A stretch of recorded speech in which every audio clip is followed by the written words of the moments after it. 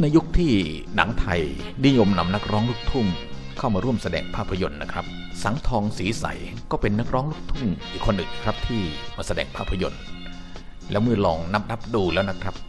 ช่วงระยะเวลาเพียงสั้น ๆ สังทองสีใสนั้น จะเป็นนักร้องลูกทุ่งที่แสดงภาพยนตร์ไทยไว้มากที่สุด นี่ผมลองนับจากชื่อของดาราก็คือสังทองสีใสนะครับที่เขียนอยู่ในใบปิดหนังนับได้ถึง 68 เรื่อง มีทั้งหนัง 35 มม ที่เห็นจอภาพแบบนี้นะครับ แล้วก็หนัง 16 มม ภาคสดๆ ที่เห็นในจอภาพ ลักษณะจอแบบนี้นะครับ บทบาทการแสดงของสังทองสีใสที่เราเห็นในจอภาพยนตร์นั้นก็จะมีอยู่ 2 อย่างนะครับก็คือ อย่างแรกนั้นบางเรื่องนำมาเข้าฉากในแค่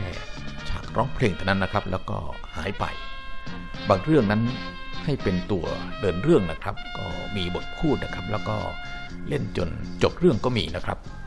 หนังไทยเรื่องแรกที่นำสังทองสีใสไปแสดงแล้วก็สร้างชื่อเสียงเลยนะครับ ก็คือหนังเรื่องโทนเป็นหนัง 35 มม นะครับ ผลงานการกำกับเรื่องแรกของคุณเปียกโปสเตอร์ก็นำสังข์ทองสีใสมาแสดงนะครับ แล้วก็ให้ร้องเพลงอยู่ 2 เพลง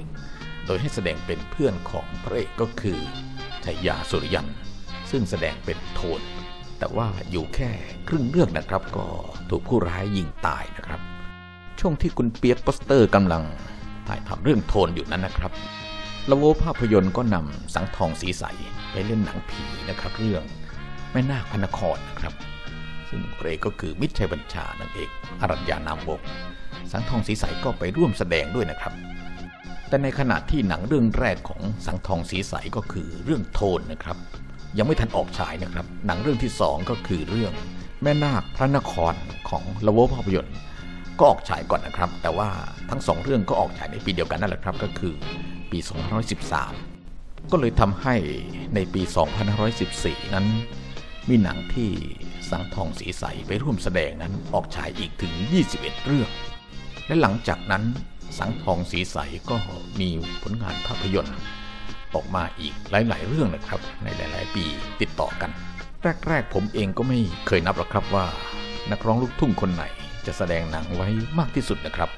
ก็รู้แต่ว่านักร้องลูกทุ่งคนแรกที่แสดงภาพยนตร์เป็นพระเอกก็คือครูคำรณสมบุญนันนนท์นะครับ ต่อมาก็มีคุณพรพิรมนะครับ ก็แสดงเป็นพระเอกเหมือนกันนะครับ จากนั้นก็คุณชายเมืองสิงห์นะครับ กระแสนักร้องลูกทุ่งในจอหนังนะครับ หรือว่าลูกทุ่งบนแผ่นฟิล์มนั้น บูมสุดขีดเมื่อครูรังสีทัศนพยัคฆ์สร้างหนังเรื่องชาติลำชีนะครับ ก็เลยนำนักร้องลูกทุ่งไปแสดง แล้วก็ได้รับความนิยมนะครับ คนก็ชอบนะครับครูรังสีก็เลยสร้างเรื่อง